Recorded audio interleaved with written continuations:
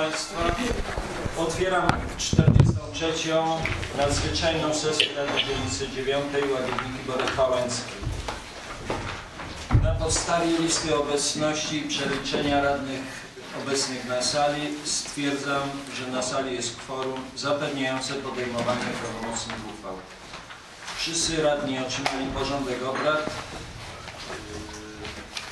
Ponieważ w ostatnim czasie wpłynęły projekty uchwał przygotowane przez Komisję Rady, proponuję ich wprowadzenie do porządku obrad.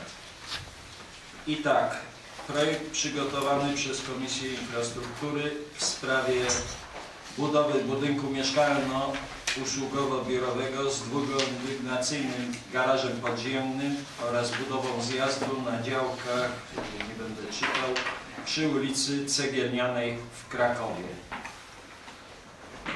Kto z Państwa jest za wprowadzeniem tego punktu do porządku obrad? Liczę. Raz, dwa, trzy, cztery, pięć, sześć, siedem, osiem, dziewięć, dziesięć, jedenaście, dwanaście. Yy, Kto się wstrzymał? Kto jest przeciw? Dziękuję. Stwierdzam, że punkt został wprowadzony. Dwóch nie ma. trzech nie ma.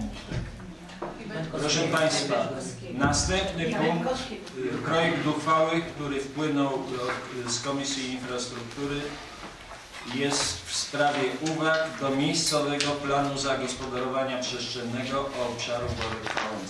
Punkt. Kto z Państwa jest za wprowadzeniem tego punktu do porządku obrad? Raz, dwa, trzy, cztery, pięć, sześć, siedem, osiem, dziewięć, dziesięć, jedenaście, dwanaście. Y, Kto jest przeciw? Kto się wstrzymał? Dziękuję. Stwierdzam, że punkt został wprowadzony. Proszę Państwa, następny projekt, który wpłynął od Komisji Polityki Społecznej i Mieszkalnictwa w sprawie ponownego zawarcia umowy najmu lokalu socjalnego położonego przy ulicy Zakopiańskiej 72B w Krakowie. Kto z Państwa jest za wprowadzeniem tego do porządku obrad? Raz, dwa, trzy, cztery, pięć, sześć, siedem, osiem, dziewięć, dziesięć, jedenaście, dwanaście. Stwierdzam, że punkt został wprowadzony. W związku z powyższym poddaję pod głosowanie uzupełniony porządek obrad w pełnej wersji. Kto z Państwa jest za przyjęciem porządku obrad na dzisiejszą sesję? Raz, dwa, trzy, cztery, pięć, sześć, siedem, osiem, dziewięć, dziesięć, jedenaście. Dziękuję. Stwierdzam, że porządek obrad został przyjęty.